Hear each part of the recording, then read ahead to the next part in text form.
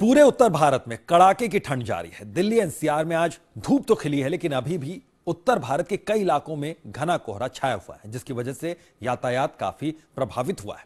कोहरे की वजह से दिल्ली आने वाली तिरपन ट्रेनें देरी से चल रही हैं, जबकि 26 ट्रेनों का वक्त बदला गया कोहरे की वजह से तीन ट्रेनों को रद्द भी किया गया।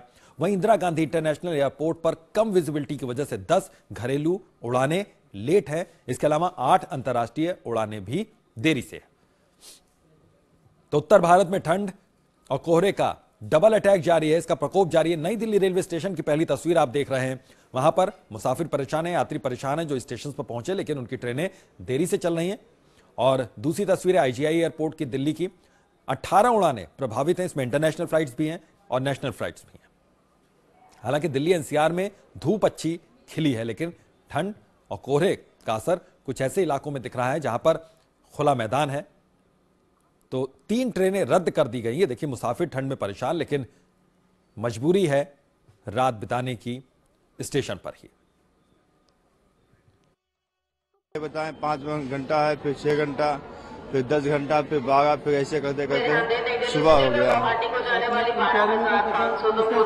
पूछताछ किए हैं फिर अभी बता रहे हैं बारह बजे बारह बजे दोपहर में आएगा। समस्तीपुर जाना है। स्वतंत्रता सेनानी एक्सप्रेस ट्रेन है। आठ बज के पैंतीस मिनट पे था।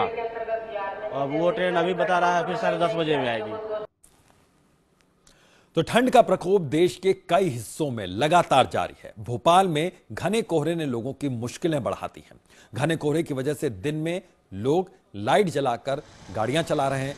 वहीं छोटे छोटे बच्चों को सुबह सुबह स्कूल जाने में भी काफ़ी परेशानियों का सामना करना पड़ रहा है। उत्तर प्रदेश के इलाहाबाद में भी ठिठुरन से लोगों को काफ़ी परेशानी हो रही है। लोग अलाव के सहारे ठंड को कम करने की कोशिश कर रहे हैं।